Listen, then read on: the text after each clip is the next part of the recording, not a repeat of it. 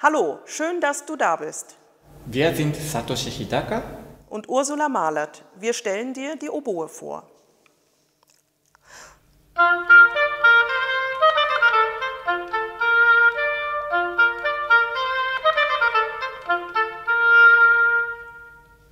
Die Oboe ist ein Holzblasinstrument aus schwarzem Grenadillholz mit vielen silbernen Klappen.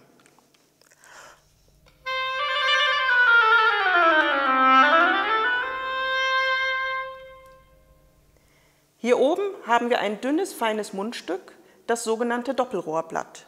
Hergestellt ist es aus französischem Schilfrohr.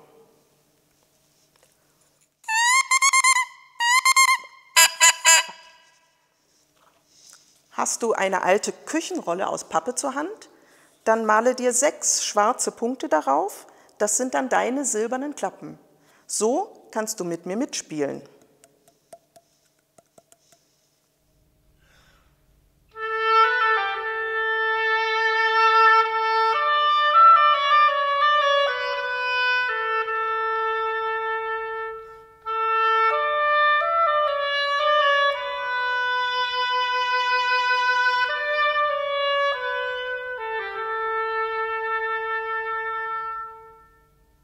Ja, so klingt die moderne Oboe.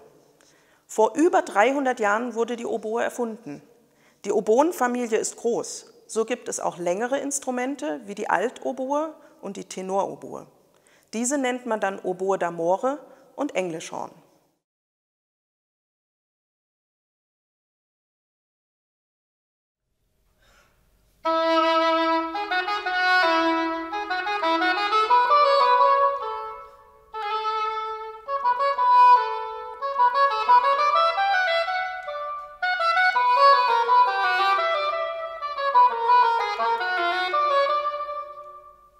Dies war die Oboe d'amore. Sie hat einen Liebesbecher. Dadurch klingt sie auch etwas nasaler. Das Englischhorn hört man oft in Sinfonie- und Opernorchestern.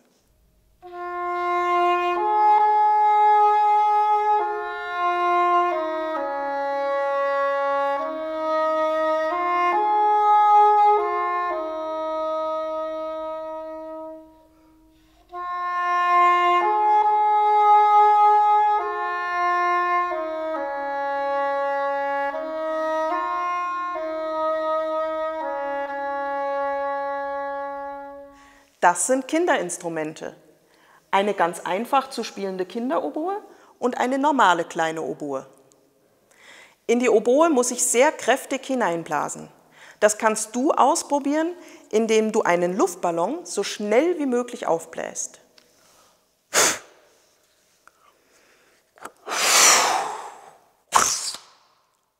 Nach wenigen Wochen Oboenunterricht kannst du bestimmt schon dieses Lied spielen.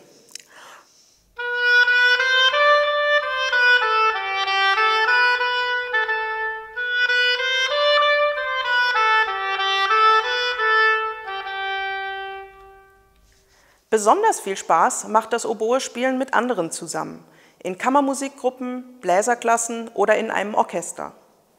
Es ist richtig toll, dass im Orchester die Oboen meistens immer die Melodie mitspielen.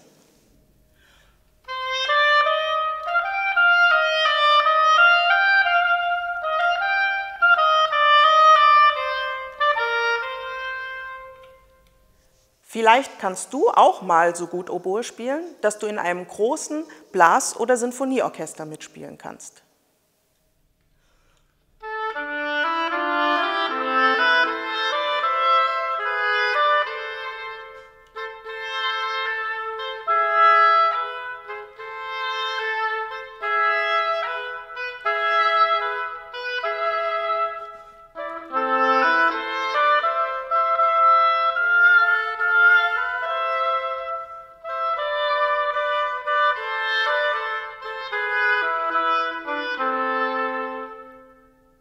Hast du Lust auf eine Oboenstunde bekommen?